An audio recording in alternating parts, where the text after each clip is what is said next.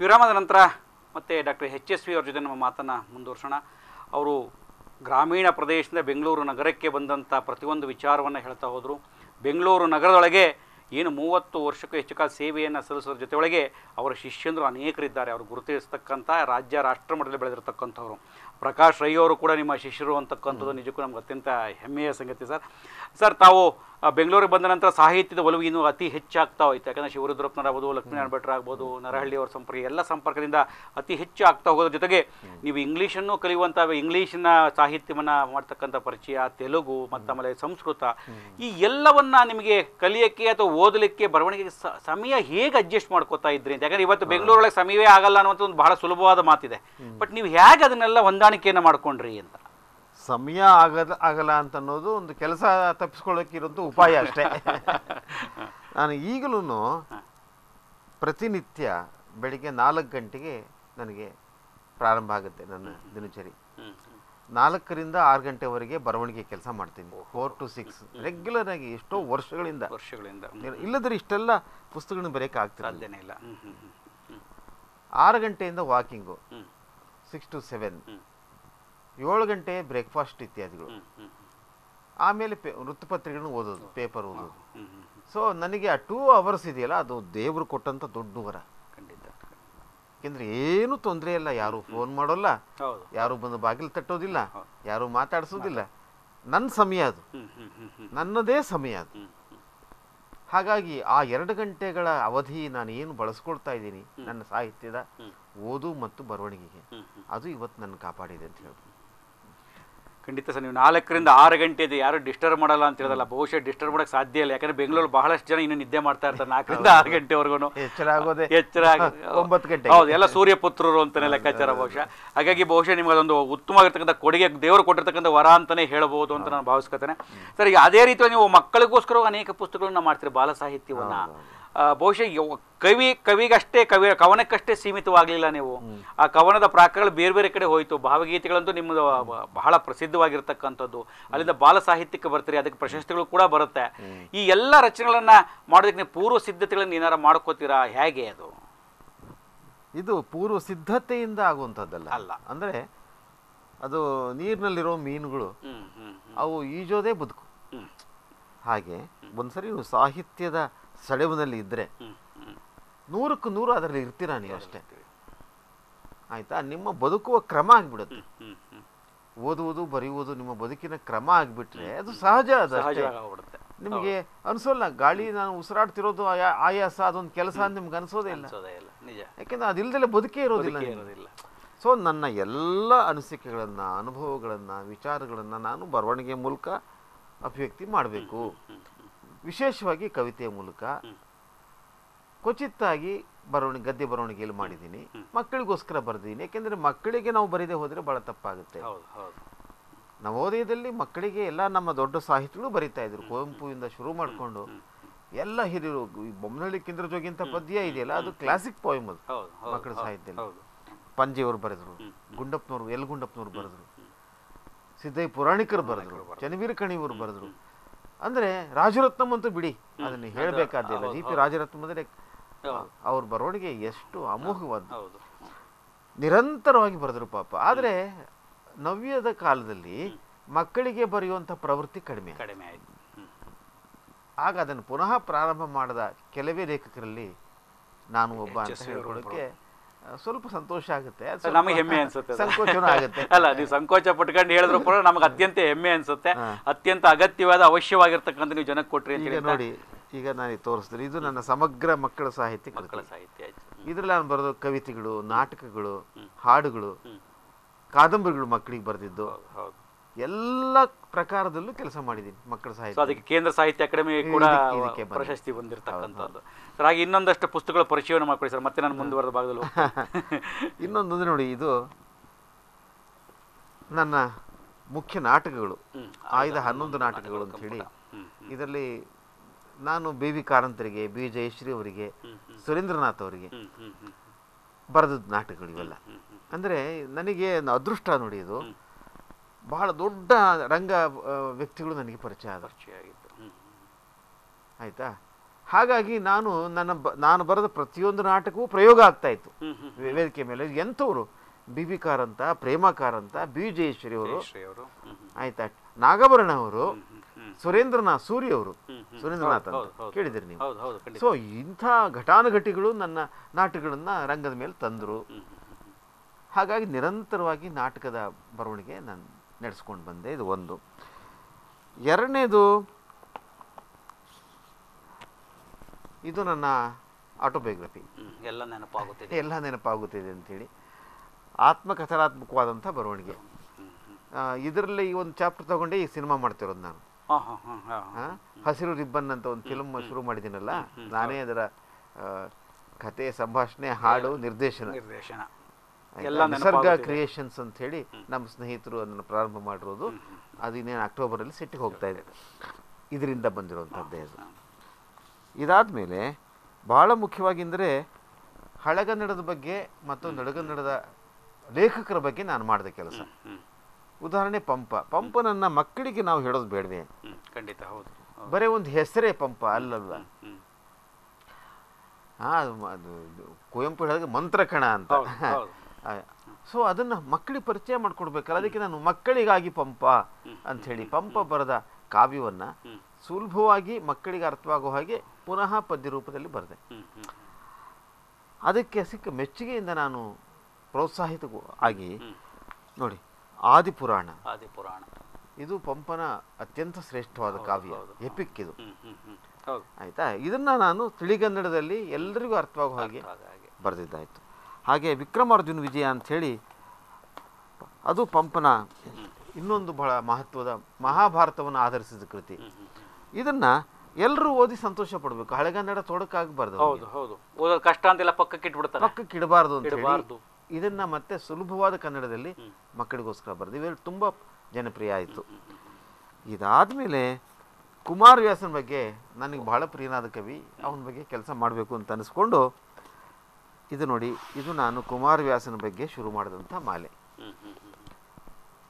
ಕುಮಾರವ್ಯಾಸ ಕಥಾ ಕಥಾಂತರ. ಕುಮಾರವ್ಯಾಸ ಕಥಾಂತರ. ಅಂಥೇಳಿ ಇದು ನಾಲ್ಕು ವಾಲ್ಯೂಮ್ಸ್ ಬರುತ್ತೆ. ಇದು ಎರಡು ವಾಲ್ಯೂಮ್ ಬರೆದಿದ್ದೀನಿ. ಈಗ ಮೂರನೇದನ್ನ ಬರಿತಾ ಇದ್ದೀನಿ. ಉದ್ಯೋಗ ಪರ್ವ ಬರಿತಾ ಇದ್ದೀನಿ. ಆಯ್ತಾ? ಮೊದಲು ನಾಲ್ಕು ಪರ್ವಗಳು ಮುಗಿಸಿದ್ದೀನಿ. ಇನ್ನು ಎರಡು ವಾಲ್ಯೂಮ್ ಬಂದರೆ ನಾಲ್ಕು ವಾಲ್ಯೂಮ್ ಬಂದರೆ ಸುಮಾರು ಸಾವಿರದ ಇನ್ನೂರು ಪುಟಗಳಷ್ಟು ಆಗುತ್ತೆ ಇದು. ಇದು ಕುಮಾರವ್ಯಾಸನನ್ನ ಹೇಗೆ ಓದಬೇಕು? ಏನು ಕ್ಲೇಶಗಳಿವೆ ಅಲ್ಲಿ ಅದನ್ನು ಹೇಗೆ ಪರಿಹರಿಸ್ಕೊಳ್ಬೇಕು? ಅದರ ರಸಸ್ಥಾನಗಳು ಯಾವುದು? ಅದನ್ನು ಹೇಗೆ ಜನ ಅನುಭವಿಸ್ಬೇಕು ನಮ್ಮ ಕನ್ನಡದವರು. ಈ ಕುಮಾರ್ ಕುಮಾರವ್ಯಾಸನಂತ ಮಹಾಕವಿ ಆಯ್ತಾ ಹಿಂದೆ ಎಲ್ಲ ಮನೆ ಮನೆಯ ಕವಿಯಾಗಿದ್ದ. ಲಕ್ಷ್ಮೀಶ ಕುಮಾರವ್ಯಾಸ. ಪ್ರತಿಯೊಂದು ಮನೆಯಲ್ಲೂ ಓದ್ತಾ ಇದ್ರು. ಓದ್ತಾ ಇದ್ರು ಹೌದು. ಆ ಗಮಕ ಪರಂಪರೆ ಈಗ ಯಾರಾದರೂ ಇದನ್ನ ಮತ್ತೆ ವಿವರಿಸಬೇಕಾಗಿದೆ. ಹೌದು ಇವತ್ತಿನ ಭಾಷೆಯಲ್ಲಿ ಅದನ್ನು ವಿವರಿಸಬೇಕಾಗಿದೆ. ಖಂಡಿತ ಆ ಕೆಲಸ ಇದರಲ್ಲಿ ಮಾಡ್ತಾ ಇದ್ದೀನಿ. ಕಡೆ ನೀವು ಹೇಳಿದಾಗೆ ಗಮಕ ಅಂತಕ್ಕಂಥದ್ದು ಇವತ್ತು ಎಲ್ಲೋ ಒಂದ್ ಕಡೆ ಕಣ್ಮರೆ ಆಗೋಗ್ಬಿಟ್ಟಿದೆಯೇನೋ ಅನ್ನುವಂಥದ್ದಿದೆ ಆದ್ರೂ ಕೂಡ ಒಂದಷ್ಟು ಕಡೆ ನಡೀತಾ ಇದೆ. ನಾನು ಗಮಕಿ ರಾಘವೇಂದ್ರ ರಾಯರು ಬಿಂದು ರಾಯರು ಇವ್ರನ್ನೆಲ್ಲ ಕೇಳಿದವನು. ಹೌದು ಹೌದು. ಆಯ್ತಾ? ಹಾಗಾಗಿ ನನಗೆ ಅದು ಅದು ಮೊದಲಿಂದಲೂ ಗಮಕ ಅಂದ್ರೆ ತುಂಬಾ ಇಷ್ಟ. ಸರ್ ಇಷ್ಟೆಲ್ಲ ಚಟುವಟಿಕೆಗಳ ಮಧ್ಯೊಳಗೆ ಆ, ನಿಮ್ದು ಒಂದು ಒಂದು ಸಿನಿಮಾಕ್ಕೆ ಮತ್ತೊಂದಕ್ಕೆ ಒಂದಷ್ಟು ಗೀತೆಗಳು ಹೋಯ್ತು. ನೀವು ಕೂಡ ಚಿನ್ನಾರಿ ಮುತ್ತ ಕತೆ ಚಿತ್ರಕಥೆಯನ್ನ ಸಂಭಾಷಣೆ ಎಲ್ಲ ನೀವು ಮಾಡಿದ್ರೆ ಅದು ಬಹುಶಃ ಬಹಳಷ್ಟು ಯಶಸ್ವಿಯಾದಂತಹ ಚಿತ್ರ ಆಯ್ತು. ಕೊಟ್ರೆ ಕನಸು ಅಮೇರಿಕ ಅಮೇರಿಕ. ಇದ್ರ ಮಧ್ಯೊಳಗೆ ಮುಕ್ತ ಧಾರಾವಾಹಿ ಧಾರಾವಾಹಿ ಎಷ್ಟು ಇಂಟ್ರೆಸ್ಟ್ ಅಲ್ಲಿ ನೋಡ್ಬೇಕು ಅಂತ ಕಾಯ್ತಾ ಇದ್ರು. ಅದೇ ಕಾಯೋದಕ್ಕೆ ಪೂರ್ವವಾಗಿ ಆ ಶೀರ್ಷಿಕೆ ಗೀತೆ ಇತ್ತಲ್ಲ ಅದು ಎಲ್ಲಾರನ್ನು ಹಿಡಿದಿಟ್ಟಿತ್ತು. ಆ ಶೀರ್ಷಿಕೆ ಗೀತೆಯನ್ನ ರಚಿಸಿದ್ರು ಗೀತೆ ಬರೆದದ್ದು ಒಂದು ವಿಶೇಷನೇ. ಹೇಗೆ ಸರ್ ಅದು? ಅಶ್ವತ್ಥಗೂ ನನಗೂ ತುಂಬಾ ಸ್ನೇಹ. ಅವ್ರು ನನ್ನ ಅನೇಕ ಭಾವಗೀತೆಗಳನ್ನ ಸಿ ಡಿ ಮೂಲಕ ಜನಪ್ರಿಯಗೊಳಿಸಿದ್ರು. ಅನಂತ ಸ್ವಾಮಿ ಇಬ್ಬರೇ ಹಾಗೆ ನೋಡಿದ್ರೆ ನನ್ನನ್ನು ಪೂರ್ಣವಾಗಿ ಕರ್ನಾಟಕಕ್ಕೆ ಪರಿಚಯ ಮಾಡಿಕೊಟ್ಟವರು ಅವರಿಬ್ಬರು ಮಹಾನ್ ಭಾವರು. ಖಂಡಿತ. ಆಯ್ತಾ? ಈಗ ಅದನ್ನು ಉಪಾಸನ ಮೋಹನ್ ಮೊದಲಾದವರು ಮುಂದುವರಿಸ್ತಾ ಇದ್ದಾರೆ. ಅಶ್ವತ್ತು ಒಂದು ಸರಿ ನಮ್ಮ ಮನೆಗೆ ಬಂದರು. ನೋಡಿ ಸೀತಾರಾಮ್ ಅವರು ಧಾರಾವಾಹಿ ಮಾಡ್ತಾ ಇದ್ದಾರೆ ಟಿ ಎನ್ ಸೀತಾರಾಮ್. ಅವರು ಅವರಿಗೊಂದು ಶೀರ್ಷಿಕೆ ಗೀತೆ ಬೇಕು. ಆಯ್ತಾ? ಮುಕ್ತ ಅಂತ ಅದರ ಹೆಸರು. ಆ ಹಾಡಿನ ಎಲ್ಲ ಸಾರ ಸರ್ವಸ್ವವನ್ನು ಹಿಡಿಯುವಂತ ಒಂದು ಗೀತೆ ನೀವು ಬರ್ಕೊಡಿ. ನಾನು ಹೇಳಿದೆ ಎಚ್ ಎಸ್ ವೆಂಕಟೇಶ್ ಮೂರ್ತಿ ಬರೆಸ್ತೀನಿ ಅಂತ. ಅವರು ಏನಪ್ಪ ಅವರು ಸ್ವಲ್ಪ ಗಂಭೀರ ಮನುಷ್ಯ. ನಾವು ಹೇಳಿದರೆ ಬರಿತಾರೋ ಇಲ್ವೋ ಅಂತ ಅನುಮಾನ ಪಟ್ಟರು ಸೀತಾರಾಮ್ ಅವರು. ನಾನು ಹೇಳಿದ್ದೀನಿ ಇಲ್ಲ ಎಲ್ಲ ನಾನು ಮಾತು ಕೊಡ್ತೀನಿ ನಿಮಗೆ. ಬರೆಸ್ಕೊಡ್ತೀನಿ ಅಂತ. ಆಮೇಲೆ ಸೀತಾರಾಮ್ ಅವ್ರನ್ನ ಸಂಪರ್ಕ ಮಾಡಿದ್ರು. ಆಗ ನಾನು ಬರೆದಿದ್ದು ಮುಕ್ತ ಹಾಡು. ಮುಕ್ತ ಹಾಡು ಎಷ್ಟು ಜನಪ್ರಿಯ ಆಯ್ತು ಅಂದ್ರೆ ಅದನ್ನ ಹೇಳ್ಬೇಕಾದ್ರೆ ಖಂಡಿತ ಅಶ್ವಥ್ ಹಾಡಿದ್ದು ರತ್ನಮಾಲ ಅಶ್ವಥ್ ಅವರು ಬಹಳ ಜನಪ್ರಿಯ ಆಗೋಯ್ತು. ಸೀತಾರಾಮ್ ಅವ್ರಿಗೆ ತುಂಬಾ ಸಂತೋಷ ಆಗೋಯ್ತು. ಆಮೇಲೆ ಅವರು ಅವರ ಎಲ್ಲ ಸೀರಿಯಲ್ಸ್ಗಳಿಗೆ ಮಹಾಪರ್ವ ಮುಕ್ತ ಮುಕ್ತ ಮಹಾಪರ್ವ ಎಲ್ಲದಕ್ಕೂ ನನ್ನಿಂದಲೇ ಬರೆಸಿದ್ರು. ಅಶ್ವಥ್ ಸಂಗೀತ ಮಾಡೋರು ನಾನು ಹಾಡು ಬರೀತಾ ಇದ್ದೆ. ಅದೊಂದು ಅದ್ಭುತವಾದ ಕಾಂಬಿನೇಷನ್ ಆಗೋಯ್ತು. Seetharam Ashwath H S V sir ಖಂಡಿತ. ಅದನ್ನ ಹೇಳ್ದೆ ನಾನು ಮುಕ್ತ ಧಾರವಾಹಿಯನ್ನ ಮಹಾಪರ್ವ ಧಾರವಾಹಿನ ನೋಡಬೇಕು ಅಂತ ಹೇಗೆ ಕಾಯ್ತಾ ಇದ್ರು ಹಾಗೆ ಆ ಶೀರ್ಷಿಕೆ ಗೀತೆಯನ್ನು ಕೇಳಬೇಕು ಅಂತಕ್ಕಂಥದ್ದು ಬಹಳಷ್ಟು ಚೆನ್ನಾಗಿದೆ ಆರಂಭಕ್ಕೆ ಮುಂಚೆಯೇ ಹಾಕೊಂಡು ಕೂತಿರೋ ಅಂಥದ್ದಿತ್ತು ಆ ಪ್ರಮಾಣದಲ್ಲಿ ಇದ್ದಂಥದ್ದು. ಆಮೇಲೆ ನೀವು ಹೇಳಿದಾಗೆ ಆ, ಮೈಸೂರು ಅನಂತ ಸ್ವಾಮಿಯವರಾಗ್ಬೋದು ಅಶ್ವಥ್ ಅವರಾಗ್ಬೋದು ನಿಮ್ಮ ಏನು ಕವನಗಳನ್ನ ಅಥವಾ ಭಾವಗೀತೆಗಳನ್ನ ಜನಕ್ಕೆ ತಲುಪಿಸುವಲ್ಲಿ ಸಾಕಷ್ಟು ಶ್ರಮವನ್ನು ವಹಿಸಿದ್ದಾರೆ ಅಂತಲೇ ಹೇಳ್ಬೋದು. ಇವತ್ತು ಭಾವಗೀತೆಗಳಿಗೆ ಭಾವ ತುಂಬಿದಂಥವ್ರು ಅವರು ಅಂತ ಹೇಳಿ ಅಂತ ಸರ್ ಈ ಮಧ್ಯೆ ನಿಮಗೆ ಆ ಚಿನ್ನಾರಿ ಮುತ್ತಾಗ್ಬೋದು ಕೊಟ್ರೆ ಕನಸು ಈ ಸಿನಿಮಾದ ಸಂಪರ್ಕಕ್ಕೆ ಹೇಗೆ? ಅದು ನೋಡಿ ಅದು ಅದು ಅದು ಭಾಳ ಚೆನ್ನಾಗಿದೆ. ಎಲ್ಲಕ್ಕೂ ಅಶ್ವತ್ಥನೇ ಮೂಲ. ಈಗ ಅಶ್ವತ್ ಹೇಗೆ ನಮಗೆ ಸೀತಾರಾಮನ್ ಪರಿಚಯ ಮಾಡಿಸಿದ್ರು. ಟಿ ಎನ್ ಎಸ್ ಇವತ್ತು ನನಗೆ ಬಹಳ ಆತ್ಮೀಯ ಗೆಳೆಯ. ಹಂಗೆ ನಾಗಾಭರಣನ ಪರಿಚಯ ಮಾಡಿಸಿದ್ದು ಅಶ್ವತ್ಥ. ಒಂದಿನ ಅಶ್ವತ್ತು ದತ್ತಣ್ಣ. ಆಯ್ತಾ ನಾಗಾಭರಣ ಮೂರು ಜನ ನಮ್ಮ ಮನೆಗೆ ಬಂದರು. ಬಂದು ಮಕ್ಕಳು ಸಿನಿಮಾ ಮಾಡಬೇಕು ಅಂತಿದ್ದೀವಿ ಸರ್. ನೀವೇ ಅದಕ್ಕೆ ಕತೆ ಬರಿಬೇಕು ಅಂತ. ಆಯ್ತು ಪ್ರಯತ್ನ ಮಾಡ್ತೀನಿ ಅಂತ ಹೇಳಿದೆ ನಾನು. ಆಮೇಲೆ ಆವಾಗ ಬರೆದಿದ್ದು ಚಿನ್ನಾರಿ ಮುತ್ತ ಕಾದಂಬರಿ. ಆ ಕಾದಂಬರಿನಲ್ಲಿ ಹಾಡುಗಳನ್ನು ಬರೆದಿದ್ದೆ ನಾನು. ಎಲ್ಲೆಲ್ಲಿ ಹಾಡುಗಳು ಬರಬೇಕು ಅಂತಲೂ ಹಾಡುಗಳು ಸಮೇತ ಬರೆದಿದ್ದು. ಅದನ್ನು ಆಮೇಲೆ ಓದಿ ನಾಗಭರಣ ತುಂಬ ಸಂತೋಷಪಟ್ಟರು. ಅದು ಸಿನಿಮಾ ಆಯಿತು ಇಪ್ಪತ್ತೈದು ವಾರಗಳು ಅದು ಓಡ್ತು. ಆಯ್ತು ಅದರಲ್ಲಿ ಹಾಡಿದವರೆಲ್ಲ ಮಕ್ಕಳು ಇವತ್ತು ಪ್ರಸಿದ್ಧ ಗಾಯಕಿಯರಾಗಿದ್ದಾರೆ. ಈ ಅರ್ಚನಾ ಮದ್ದಾದವರೆಲ್ಲ ಹಾಡಿದ್ದು ಅಲ್ಲಿ. ಅದ್ರ ಅಲ್ಲಿ ಹೌದು ಅರ್ಚನಾ ಅವರು ಅದರ ನಾಯಕ ಇವತ್ತು ದೊಡ್ಡ ಹೀರೋ ಹೌದು. ವಿಜಯ ರಾಘವೇಂದ್ರ. ರಾಘವೇಂದ್ರ. ವಿಜಯ ರಾಘವೇಂದ್ರ. ಹಾಗೆ ಅವರೆಲ್ಲ ಮಕ್ಕಳದಾಗಿಂದ ನನಗೆ ಪರಿಚಯ. ಇವತ್ತು ಅಷ್ಟೇ ಪ್ರೀತಿ ನನ್ನ ಬಗ್ಗೆ ಅವರಿಗೆಲ್ಲ. ಇವತ್ತು ಬೆಳೆ ದೊಡ್ಡವರಾಗಿದ್ದಾರೆ. ಹೆಸರು ಮಾಡಿದ್ದಾರೆ. ಆದ್ರೂ ನನ್ನ ಕಂಡ್ರೆ ಬಹಳ ಪ್ರೀತಿ ಅವರಿಗೆ. ಸರ್ ಖಂಡಿತ. ಯಾಕೆಂದರೆ ಆ ಪ್ರೀತಿ ಅನ್ನೋದು ಇವತ್ತು ಅವರೆಲ್ಲ ಇಟ್ಕೊಂಡಿದ್ದಾರೆ ನಿಮ್ಮನ್ನ. ನಿಮ್ಮ ಗೀತೆಗಳಲ್ಲಿ ಅಷ್ಟೊಂದು ಒಂದು ಹಿಡಿದಿಡುವ ಶಕ್ತಿ ಇದೆ ಅಂತಲೇ ಹೇಳ್ಬೋದು. ಸರ್ ಈ ಮೊದಲಿಗೆ ನಿಮ್ಮದೇ ಆಗಿರ್ತಕ್ಕಂಥ ಒಂದಷ್ಟು ಡಾಕ್ಯುಮೆಂಟ್ಗಳು ಕೂಡ ಬಂತು. ಡಾಕ್ಯುಮೆಂಟ್ರಿ ಸರ್ಕಾರವು ಕೂಡ ಒಂದು ಡಾಕ್ಯುಮೆಂಟ್ ತಂತು. ಆಮೇಲೆ ನಿಮ್ಮ ವಿದ್ಯಾರ್ಥಿ ಬಳಗದವರು ಒಂದಷ್ಟು ತಂದರು. ಅದರ ಒಂದಷ್ಟು ವಿವರ. ಯಾಕೆ ಅಂತಂದರೆ ನಿಮಗೆ ಒಂದು ಕಡೆಗೆ ಖುಷಿ ಅಂತ ಅನ್ಸೆ ಅನ್ಸುತ್ತೆ ಅದು. ಯಾಕಂದ್ರೆ ಈ ಮಟ್ಟಿಗೆ ನೀವು ಆಲೋಚನೆ ಮಾಡಿದ್ರೂ ಇಲ್ಲೋ ಗೊತ್ತಿಲ್ಲ. ಯಾಕೆ ಅಂತಂದ್ರೆ ಆ, ಗ್ರಾಮೀಣ ಪ್ರದೇಶದಲ್ಲಿ ಇದ್ದಾಗ ಯಾವುದೋ ಒಂದು ಉದ್ಯೋಗ ಸಿಕ್ಕರೆ ಸಾಕು ಅನ್ನುವಂಥ ಪರಿಸ್ಥಿತಿಯಲ್ಲಿರುವಾಗ ಪರಿಸ್ಥಿತಿಯಲ್ಲಿ ಸದ್ಯ ಇರುವಾಗ ಹೊಟ್ಟೆಪಾಡಿಗೇನೋ ಒಂದು ಹೊಟ್ಟೆ ಕೆಲ್ಸ. ಪಾಡಿಗೆ ಅಂತೇಳಿ ಅಂತ. ಈ ಮಟ್ಟಕ್ಕೆ ಬೆಳೆದು ನಿಂತಾಗ ಒಮ್ಮೆ ನಿಮ್ಮ ಸಿಂಹಾವಲೋಕನ ಮಾಡ್ಕೊಂಡಾಗ ಏನು ಅನ್ಸುತ್ತೆ ಈ ಡಾಕ್ಯುಮೆಂಟ್ರಿ ಇದೆಲ್ಲವನ್ನು ಯೋಚನೆ ಮಾಡಿದಾಗ? ಇದು ಬಹಳ ಅನಿರೀಕ್ಷಿತವಾಗಿತ್ತು. ನನ್ನ ಜೀವನದಲ್ಲಿ ಇದೆಲ್ಲ ಕೆಲವು ಪವಾಡ ಸದೃಶ ಸಂಗತಿಗಳು ನಡೆದ್ಬಿಟ್ಟು ಖಂಡಿತ. ಅದರಲ್ಲಿ ನೋಡಿ ಇವೆಲ್ಲ ಅವಾಗೆಲ್ಲ ನನಗಿದು ಮಹತ್ವನೇ ಗೊತ್ತಿರಲಿಲ್ಲ. ಚಿನ್ನಾರಿ ಮುತ್ತ ಇಪ್ಪತ್ತೈದು ವಾರ ಅದು ಹೋಗುತ್ತೆ ಬಿಡಿ ಅಂತ. ಇವತ್ತು ಒಂದು ಸಿನಿಮಾ ಒಂದು ವಾರ ನಾಲ್ಕು ವಾರ ನಡೆದ್ಬಿಟ್ರೆ ಅದು ಏನೇ ಸಂತೋಷ ಪಡ್ತಾರೆ ಎಲ್ಲರೂ. ನಾವು ಇಪ್ಪತ್ತೈದು ವಾರ ಹೊಡೆದ್ರು ನಿರುದ್ವಿಗ್ನವಾಗಿದ್ದೆ ನಾನು. ಅದದ್ದು ಸಂಭ್ರಮನೇ ಇರಲಿಲ್ಲ. ಅಂದರೆ ನನಗೆ ಗೊತ್ತಿಲ್ಲ ಇದೆಲ್ಲ ಏನು ಮಹತ್ವ ಅಂತ. ಈಗ ಗೊತ್ತಾಗ್ತಾ ಇದೆ. ಆಯಿತಾ? ಡಾಕ್ಯುಮೆಂಟ್ರಿ ಮಾಡುವಾಗಲೂ ಅಷ್ಟೇ. ನಮ್ಮ ಸ್ನೇಹಿತ ನಮ್ಮ ಹುಡುಗರುಗಳು ವಿದ್ಯಾರ್ಥಿಗಳು ಪಾಪ ವಿದ್ಯಾರ್ಥಿಗಳು ಹ್ಮ್. ಆಯ್ತಾ ಅವರೆಲ್ಲ ಬಂದರು ನನಗೆ ಬಹಳ ಪ್ರಿಯರಾದ ಹುಡುಗರು ಸರ್ ನಿಮ್ಮ ಬಗ್ಗೆ ಒಂದು ಡಾಕ್ಯುಮೆಂಟ್ರಿ ಮಾಡ್ತೀವಿ. ನನ್ನನ್ನು ಕರ್ಕೊಂಡು ಇಡೀ ಕರ್ನಾಟಕ ನಾನು ಎಲ್ಲೆಲ್ಲಿದ್ನೋ ಅಲ್ಲೆಲ್ಲ ಹೇಳ್ಕೊಂಡು ಹೋಗಿದ್ದಾರೆ ಪಾಪ. ಬೆಟ್ಟ ಹತ್ಸಿ ಗುಡ್ಡ ಇಳಿಸಿ? ನಾನು ಓದು ಕೆಲಸ ಮಾಡಿದಂಥ ಜಾಗ ನಾನು ಓದಿದ ಜಾಗ ಒಂದನ್ನೂ ಬಿಡದೆ. ಅವರು ಅದ್ಭುತವಾದ ಡಾಕ್ಯುಮೆಂಟ್ರಿಯನ್ನು ಮಾಡಿದರು.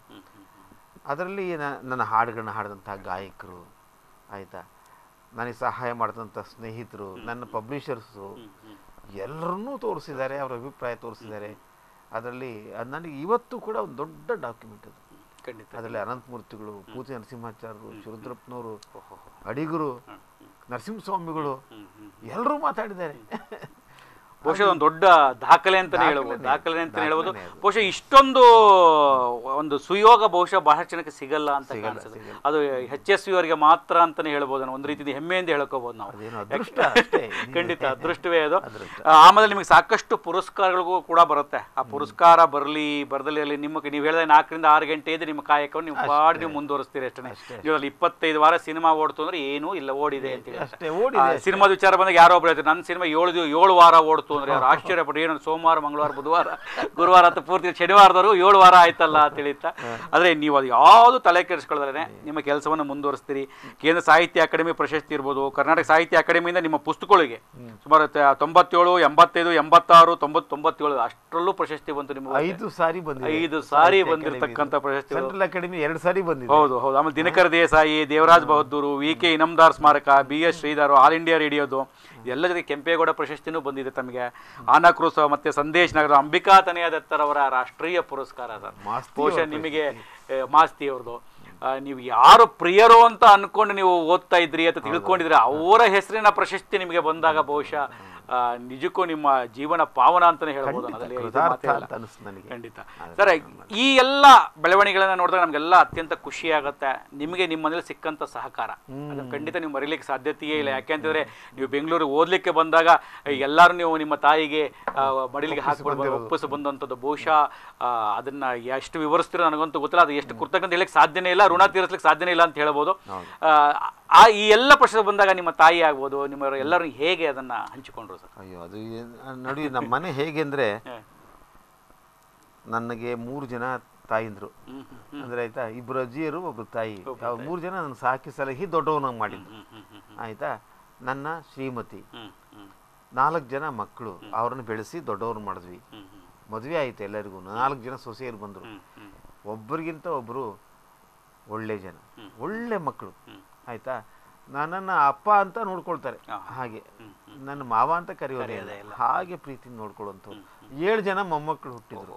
ಸೊ ಸಂಸಾರ ಅಂದರೆ ಹೀಗೆ ಅಂತ ಹಾಗೆ ಒಂದು ಜಾಯಿಂಟ್ ಫ್ಯಾಮಿಲಿ ಅದನ್ನು ಅದಕ್ಕೆ ಎಲ್ಲ ಹಾಸ್ಯ ಮಾಡ್ತಿರ್ತಾರೆ. ನಿಮ್ದು ಬಿಡಪ್ಪ ಶ್ರೀ ಸಂಸಾರ ಅಂತ. ನಾನು ಶ್ರೀ ಸಂಸಾರ ಒಂದು ಪದ್ಯ ಬರೆದಿದ್ದೀನಿ. ಎಲ್ಲ ದೇವರುಗಳು ಒಬ್ಬರೇ ಬಂದು ಕೂತ್ಕೋತಾರೆ ಪೂಜೆಗೆ. ಆದರೆ ರಾಮ ಮಾತ್ರ ಸಂಸಾರ ಸಮೇತ ಪೂಜೆ ಮಾಡಿಸ್ಕೋತಾನೆ. ಅದು ಹೆಂಡತಿ ಇರಬೇಕು ಪಕ್ಕದಲ್ಲಿ ಆಯ್ತಾ? ತಮ್ಮಂದ್ರು ಇರಬೇಕು ತಾಯಿ ಇರಬೇಕು ಆಯ್ತಾ? ಆಮೇಲೆ ಕೆಳಗೆ ಆಂಜನೇಯನಂತ ಇರಬೇಕು. ಪ್ರಿಯ ಭಕ್ತ ಇರಬೇಕು. ಅಷ್ಟು ಮಾತ್ರ ಅಲ್ಲ ಸುಗ್ರೀವ ಇರಬೇಕು ಜಾಂಬುವಂತ ಇರಬೇಕು ವಿಭೀಷಣ ಇರಬೇಕು. ಇಡೀ ಬಳಗವೇ ಇರಬೇಕು. ಎಲ್ಲ ವರ್ಗದ ಎಲ್ಲ ವರ್ಣದ ಎಲ್ಲ ನಂಬಿಕೆಗಳ ಜನ ಎಲ್ಲ ಒಟ್ಟಿಗೆ ಪೂಜೆಗೊಳ್ಳುವಂಥ ಒಂದೇ ಒಂದು ಅದ್ಭುತವಾದಂಥ ದೈವ ಅಂದರೆ ಅದು ರಾಮ. ಖಂಡಿತ. ಅದಕ್ಕೆ ಅವನನ್ನು ಶ್ರೀ ಸಂಸಾರಿ ಅಂತಲೇ ಕರೆದು ಒಂದು ಪದ್ಯ ಬರೆದಿದ್ದೀನಿ ಭಾಳ ಜನಪ್ರಿಯವಾಯಿತು. ಅದಕ್ಕೆ ನೀನೇ ಶ್ರೀ ಸಂಸಾರಪ್ಪ ನಿಂದೇನೆ ಅಂತ. ಖಂಡಿತ. ಖಂಡಿತ ನಿಮ್ಮ ಮನೆಯ ವಾತಾವರಣವೂ ಹಾಗೇ ಇದೆ. ಹಾಗೆ ಇದೆ. ಅದ್ರ ಜೊತೆಗೆ ನಿಮ್ಮ ಮನೆಯ ರಸ್ತೆಗೂ ಕೂಡ ನಿಮ್ಮ ಹೆಸರಿನ ನಾಮಕರಣವೇ ಆಗಿದೆ ಪಕ್ಕದಲ್ಲಿ. ಅಂತೂ ಕವಿ ಬೀದಿಗೆ ಬಿದ್ದಾಗ ಆಯ್ತಾ? ಇಲ್ಲ ಇಲ್ಲ ಬೀದಿಗೆ ಬಿದ್ದಾಗೆಲ್ಲ ಕವಿಯಲ್ಲಿ ಇದ್ದಾರೆ ಅಂತ ಎಲ್ಲರಿಗೂ ಗೊತ್ತಾಗುವಂಥದ್ದು ಬಹುಶಃ ನಿಜಕ್ಕೂ ಬಹುಶಃ ಇದು ಎಲ್ಲರಿಗೂ ಸಿಗಲ್ಲ ಸರ್ ಇದು. ನೀವು ಯೋಚನೆ ಮಾಡಿ ಇವತ್ತು ಯಾ ರಸ್ತೆಗಳಿಗೆ ಹೆಸರಿರ್ತಕ್ಕಂಥದ್ದು ಆ, ಬೇರೆ ಬೇರೆ ರೀತಿಯಾಗಿರ್ಬೋದು ಆದರೆ ಹೆಚ್ ಎಸ್ ಪಿ ಅವ್ರ ಹೆಸರಿರ್ತಕ್ಕಂಥ ನಮಗೆ ಹೆಮ್ಮೆ ಅಂತ ನಾವು ಹೆಸರಿಡೋದಂಥದ್ದು ನೀವು ಇರುವ ಜಾಗದೊಳಗೆ. ನೀವು ಓಡಾಡುವ ಜಾಗದೊಳಗೇನೆ ನಿಮ್ಗೆ ಇಡೀ ಬಡಾವಣೆಗೆ ಎಲ್ಲರೂ ಪರಿಚಯ ಇರುವಂಥದ್ದು ಅಂತಕ್ಕಂಥದ್ದು. ಹಾಗಾಗಿ ಇಲ್ಲೇ ಹತ್ತಿರದಲ್ಲಿರ್ತಕ್ಕಂಥ ನೀವು ಏನು ಗ್ರಾಮೀಣ ಪ್ರದೇಶದಿಂದ ಬೆಂಗಳೂರು ನಗರಕ್ಕೆ ಬಂದರೂ ಕೂಡ ಆ ದೇಸೀಯ ಸೊಗಡನ್ನು ನೀವು ಬಿಡಲಿಲ್ಲ ಅಂತಕ್ಕಂಥದ್ದು. ನಿಮ್ಮ ನಡವಳಿಕೆಯಲ್ಲಾಗ್ಬೋದು ನಿಮ್ಮ ಬರವಣಿಗೆಯಲ್ಲಾಗ್ಬೋದು. ಅದಕ್ಕೆ ನಮ್ಮ ನರಳ್ಳಿ ಹೇಳ್ತಾರೆ. ಯಶಸ್ವಿ ಎಚ್ ಎಸ್ ವಿ ಈಗಲೂ ಸೋಫಾದಲ್ಲಿ ಕುತ್ಕೊಂಡ್ರೆ ಚಕ್ಲ ಬಕ್ಲ ಹಾಕೊಂಡು ಕುತ್ಕೋತಾರೆ ಕಾಲು ಮುಡಿಸ್ಕೊಂಡು ಕುತ್ಕೋತಾರೆ ಅಂತ. ಖಂಡಿತ ಖಂಡಿತ. ಅಂದರೆ ಇದು ನನಗೆ ಆ ಹಳ್ಳಿತನ ಅನ್ನೋದು ಹೋಗಲೇ ಇಲ್ಲ. ಹಳ್ಳಿತನ ನನ್ನ ಭಾಷೆನಲ್ಲಿ ನಮ್ಮ ಇವತ್ತು ನಮ್ಮ ದಾವಣಗೆರೆ ಶಿವಮೊಗ್ಗದ ಭಾಷೆ. ಭಾಷೆನೇ ಬರುತ್ತೆ. ಹೌದು ಹೌದು. ಆ ಭಾಷೆ ಸೊಗಡಿದೆ. ನನ್ನ ಬರವಣಿಗೆಲೆಲ್ಲ ಅದು ಕಾಣುತ್ತೆ. ಆಯಿತಾ? ನನ್ನ ಉಡುಪು ನನ್ನ ಆಕಾರ ಆಯ್ತಾ? ನನ್ನ ಮಾತು ಕಥೆ ನನ್ನ ಹಾಸ್ಯ ಎಲ್ಲ ನಮ್ಮ ತನ ನಮ್ಮ ಹಳ್ಳಿತನ ನಾನು ಬಿಡಲೇ ಇಲ್ಲ. ನಮ್ಮ ಊರು ಇದೆ. ಅದಕ್ಕೆ ನಾನು ನಮ್ಮ ಊರನ್ನ ಒಂದು ಸಣ್ಣ ಚಾಪೆ ಮಾಡ್ಕೊಂಡು ಅದನ್ನು ಕಂಕಳ ಇಟ್ಕೊಂಡು ಓಡ್ತಾ ಇದ್ದೀನಿ ಬೆಂಗಳೂರಿನಲ್ಲಿ. ಖಂಡಿತ ಖಂಡಿತ ಸರ್. ಇಷ್ಟೆಲ್ಲ ಸಾಧನೆಯನ್ನು ಮಾಡಿದ್ರು ಕೂಡ ಅತ್ಯಂತ ಸರಳ ವ್ಯಕ್ತಿತ್ವವನ್ನು ಇಟ್ಟುಕೊಂಡು ನೀವು ಹೇಳೋಣ ಹಳ್ಳಿಯವರಂದ್ರೆ ನಾವು ಹೀಗೇನೆ ಅಂತೇಳಿ ನಗರ ಕೋಲಿ ಎಲ್ಲೇ ಹೋಗಲಿ ನಮ್ಮ ಸಂಸ್ಕಾರ ಸಂಸ್ಕೃತಿನ ನಾವು ಬಿಡೋದಿಲ್ಲ ಅನ್ನೋದಕ್ಕೆ. ಯಾಕಾಗತ್ತೆ ಅಂದರೆ ನಮ್ಮ ದೊಡ್ಡವರು ಮಾಡೋ ಸಾಧನೆ ನೆನಪು ಮಾಡ್ಕೋಬೇಕು ನಾವು ಯಾವಾಗಲೂ. ಅದ್ರ ಮುಂದೆ ನಮ್ದೇನು ಅಂತ ಪ್ರಶ್ನೆ ಬಂದಾಗ ವಿನಯ ತಾನಾಗಿ ಬರುತ್ತೆ. ಅಹಂಕಾರ ಪಡೋಕೆ ಅವಕಾಶ ಇಲ್ಲ. ಅವಕಾಶ ಇರಲ್ಲ ಪಂಪನಂಥ ಕವಿ ಕುಮಾರವ್ಯಾಸನಂಥ ಕವಿ. ಆಯ್ತಾ ಬಸವಣ್ಣವರು ಅಲ್ಲಮ ಪ್ರಭುಗಳಂತ ವಚನಕಾರರು ಪುರಂದ್ರದಾಸರಂತ ಹೌದು. ಮಹಾನುಭಾವ. ಹೊಸ ಕನ್ನಡಕ್ಕೆ ಬಂದರೆ ಕಾರಂತರು ಬೇಂದ್ರೆಯವರು ಕುವೆಂಪುರು ನರಸಿಂಹಸ್ವಾಮಿಗಳು ಅಡಿಗರು ಇಂಥ ಮಹಾಮಹಾ ವ್ಯಕ್ತಿಗಳೆಲ್ಲ ಬರೆದಿರ್ಬೇಕಾದ್ರೆ ನೀನು ಅಹಂಕಾರ ಪಡೋಕೆ ಎಲ್ಲಿ ಜಾಗ ಇದೆ. ಸರ್ ಖಂಡಿತ ಸರ್ ಇದಂತೂ ನೂರಕ್ಕೆ ನೂರು ಸತ್ಯವಾಗಿರ್ತದೆ ಎಲ್ಲರೂ ನೆನೆಸ್ಕೊಳ್ತಾ ಇರ್ಬೇಕು ನಾವು. ನೆನೆಸ್ಕೊಳ್ತಾ ಪರಂಪರೆ ಇರ್ಬೇಕು. ನೆನೆಸ್ಕೊಂಡ್ ಕೂಡಲೇ ವಿನಯ ತನಗೆ ತಾನೇ ಬರುತ್ತೆ. ಸರ್ ಖಂಡಿತ ಪರಂಪರೆಯನ್ನು ನೆನೆಸಿಕೊಂಡ್ರೆ ನಮ್ಮ ವಿನಯ ತಾನಾಗೆ ತಾನೇ ಬರುತ್ತೆ ಅನ್ನುವಂಥದ್ದು ನಿಜಕ್ಕೂ ಹೆಮ್ಮೆಯ ಸಂಗತಿ. ಇಷ್ಟೊತ್ತು ಒಂದು ಗಂಟೆಗಳ ಕಾಲ ನಮ್ಮ ಜೊತೆಯಲ್ಲಿ ಕುಳಿತು ನಿಮ್ಮ ಅನುಭವ ಅನಿಸಿಕೆಗಳನ್ನು ಹೇಳಿಕೊಳ್ಳುವುದರ ಜೊತೆಗೆ ನಮಗೆ ಒಂದಷ್ಟು ಮಾರ್ಗದರ್ಶನದ ಮಾತುಗಳು ನಾಡಿದರೆ ನಿಮಗೆ ತುಂಬ ಹೃದಯದ ಕೃತಜ್ಞತೆಗಳು ಸರ್. ನಮಸ್ಕಾರ ನಮಸ್ಕಾರ. ವೀಕ್ಷಕರೇ ನಾನು ಆಗಲೇ ಹೇಳಿದಾಗೆ ಡಾಕ್ಟರ್ ಎಚ್ ಎಸ್ ವಿ ಅವರು ಡಾಕ್ಟರ್ ಎಚ್ ಎಸ್ ವೆಂಕಟೇಶ್ ಮೂರ್ತಿಯವರು ತಾವು ಬೆಳೆದ ಬಂದ ದಾರಿಯ ಬಗ್ಗೆ ಅನೇಕ ವಿಚಾರಗಳನ್ನು ಹೇಳಿದ್ರು. ಕಡೆಗೆ ಒಂದು ಮಾತನ್ನು ಹೇಳಿದ್ರು, ನಮ್ಮ ಪರಂಪರೆಯನ್ನು ನೆನಪಿಸ್ಕೊಂಡ್ರೆ ತಾನಾಗಿಯೇ ವಿನಿಯತೆ ಬರುತ್ತೆ ಅಂತಕ್ಕಂಥದ್ದು. ಇದನ್ನು ಎಲ್ಲರೂ ಕೂಡ ಅಳವಡಿಸ್ಕೊಂಡ್ರೆ ಬಹುಶಃ ಎಲ್ಲೂ ಯಾವುದೇ ಒಂದು ರೀತಿಯ ಕೆಟ್ಟ ದಾರಿಗೆ ಹೋಗಲಿಕ್ಕೆ ಸಾಧ್ಯತೆ ಇಲ್ಲ ಅನ್ನುವಂಥದ್ದು. ಅದಕ್ಕಿಂತ ಹೆಚ್ಚಾಗಿ ದೇಶೀಯ ಸೊಗಡಿನ ಕವಿ ನಮ್ಮವರು ಅನ್ನುವಂಥ ಹೆಮ್ಮೆ. ಇವತ್ತು ಇಷ್ಟೊತ್ತು ಅವ್ರ ಜೊತೆ ನಾವು ಮಾತನಾಡಿದ್ವಿ. ಮುಂದಿನ ಶನಿವಾರ ಮತ್ತೆ ಇನ್ನೊಬ್ಬ ಅತಿಥಿಯೊಂದಿಗೆ ಭೇಟಿಯಾಗೋಣ. ನಮಸ್ಕಾರ.